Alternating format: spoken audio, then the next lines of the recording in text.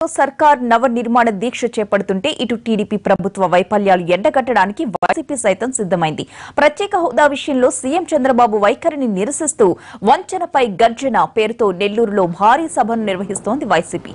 ఇందుకోసం అన్ని ఏర్పాట్లు కూడా పూర్తయిపోయాయి. ఇవాళ ఎనిమిది గంటల నుంచి సాయంత్రం ఐదు గంటల వరకు ఈ కార్యక్రమాన్ని నెల్లూరులో వీఆర్సీ మైదానంలో భారీ సభ జరపబోతున్నారు. గర్జన సభను విజయవంతం చేసి పార్టీని పటిష్టం చేసుకోవడానికి జిల్లా నేతలు భారీగా జన సమీకరణ చేస్తున్నారు.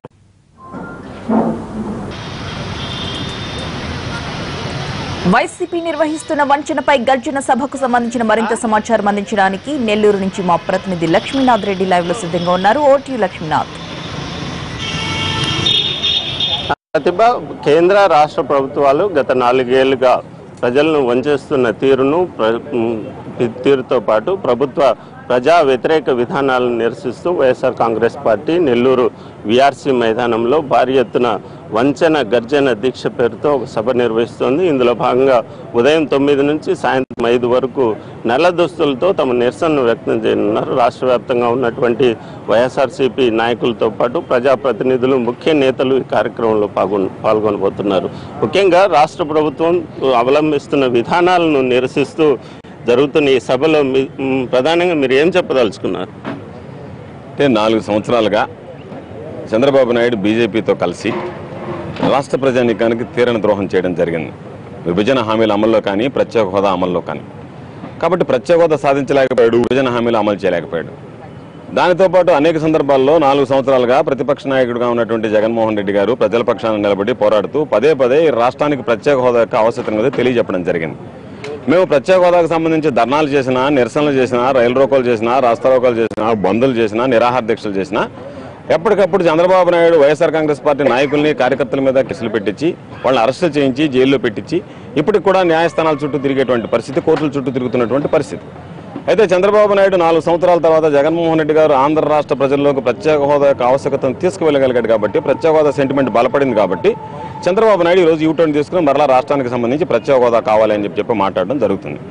నాలుగు సంవత్సరాలుగా ప్రత్యేక హోదా అవసరం లేదు ప్రత్యేక ప్యాకేజీ సరిపోతుంది నలభై సంవత్సరాలు నాకు అనుభవం ఉంది అని చెప్పినటువంటి చంద్రబాబు నాయుడు గారు అసెంబ్లీలో మేము గొడవ చేసినప్పుడు అసెంబ్లీలో ప్రత్యేక హోదా కావాలని చెప్పి చెప్పి మా నాయకుడు జగన్మోహన్ రెడ్డి గారు గొడవ చేసినప్పుడు మీరు ఏ విధంగా దీనికి సంబంధించినటువంటి తీర్మానాలు ఆమోదిస్తారంటే ప్రత్యేక హోదా అవసరం లేదు. ప్రత్యేక ప్యాకేజీకి సంబంధించి కేంద్ర ప్రభుత్వానికి ధన్యవాదాలు తెలుస్తూ తీర్మానాన్ని ఆమోదించండి అని చెప్పి అనేక సందర్భాల్లో చెప్పాడు. తీసుకొచ్చి వెంకయ్యనాయుడు గారు లాంటి వాళ్ళందరికీ సన్మానాలు చేశాడు. పోయి మోడీ గారికి సన్మానం చేశాడు. ఇవన్నీ చేశాడు. నాలుగు మిత్రులుగా ఉన్నటువంటి పార్టీతో మేము కలిసి పనిచేసాం నాలుగేళ్ళుగా ఉన్నాం. వాళ్ళు చివరిలో మోసం చేశారు. ఇప్పుడు మేము కూడా అదే పోరాట పాటు పడుతున్నాం. ప్రజల అభి- ఆకాంక్ష మేరకు మేము కూడా దీక్షలు చేస్తున్నాం. పోరాటం ప్రత్యేక హోదా కోసం పార్లమెంట్లో కూడా మాట్లాడే ఉంటున్నాం. ఇక్కడ రెండు విషయాలు మనం గమనించాల్సింది. నలభై సంవత్సరాల అనుభవం ఉన్నటువంటి వ్యక్తి కేంద్ర ప్రభుత్వం యొక్క ఆలోచనను గమనించలేకపోవడం అనేటువంటిది రాష్ట్ర ప్రజల దౌర్భాగ్యం అనుకోవాలటువంటి ముఖ్యమంత్రి ఉండడం ఒకటి. రెండోది ఈరోజు మేము చంద్రబాబు నాయుడిని ప్రధాన అడ్డంకిని ఎందుకు అంటున్నామంటే బీజేపీ ప్రభుత్వం కన్నా ఎక్కువగా చంద్రబాబు నాయుడు గారు మాట్లాడినటువంటి మాటలు ప్రత్యేక హోదా సంజీవన?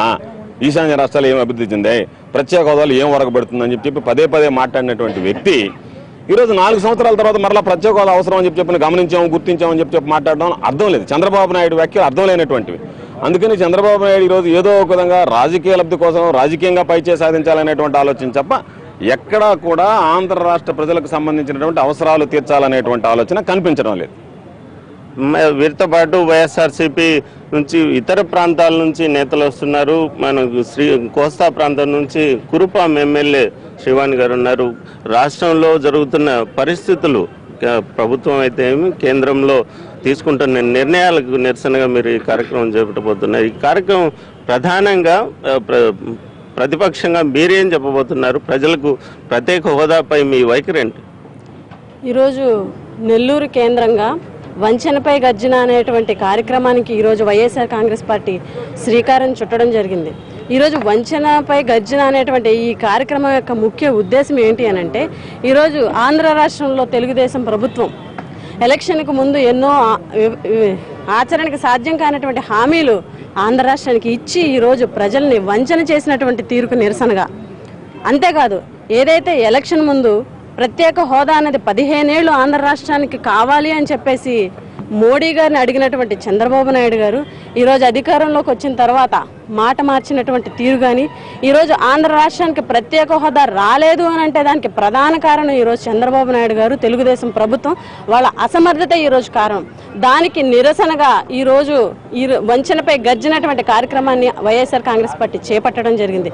ఈరోజు నాలుగు సంవత్సరాలు బీజేపీతో అంటకాగి వాళ్ళతో పదవులు అనుభవించి లబ్ధి పొంది వాళ్ళు సొంతగా ఈరోజు రాష్ట్రంలో అభివృద్ధి చెంది ఈరోజు వాళ్ళకి ఏదో లోపల చెడ్డయ్యేసరికి ఈరోజు బయటకు వచ్చి బీజేపీతో మాకు సంబంధం లేదు. బీజేపీ వల్లే ఈరోజు ప్రత్యేక హోదా రాలేదు అని చెప్పేసి బురద ఏదైతే ఉందో ఆ బురద బీజేపీకి అంటించేటువంటి ప్రయత్నం చేస్తున్నారు. ఎలక్షన్ వచ్చేసింది. ప్రజల ముందుకు వెళ్ళాలి. ఓట్లు అడగాలి అని అంటే మనకు అంటుకున్నటువంటి బురద ఇంకొకరికి అంటించేటువంటి ప్రయత్నమే చేస్తుంది తప్ప తెలుగుదేశం పార్టీ ఈరోజు వాళ్ళు ఒకటి గమనించాలి. కొంత బురద అయితే పక్క వాళ్ళకి అంటించవచ్చు కానీ పూర్తిగా ఈ ప్రభుత్వం కానీ తెలుగుదేశం కానీ పూర్తిగా బురదలో కూరుకుపోయినటువంటి పరిస్థితి రాష్ట్రంలో ఉంది. ఖచ్చితంగా రాబోయే రోజుల్లో ఆంధ్ర రాష్ట్ర ప్రజలు ఖచ్చితంగా తెలుగుదేశం పార్టీకి బుద్ధి చెప్తారని చెప్పేసి సందర్భంగా తెలియజేస్తున్నాం.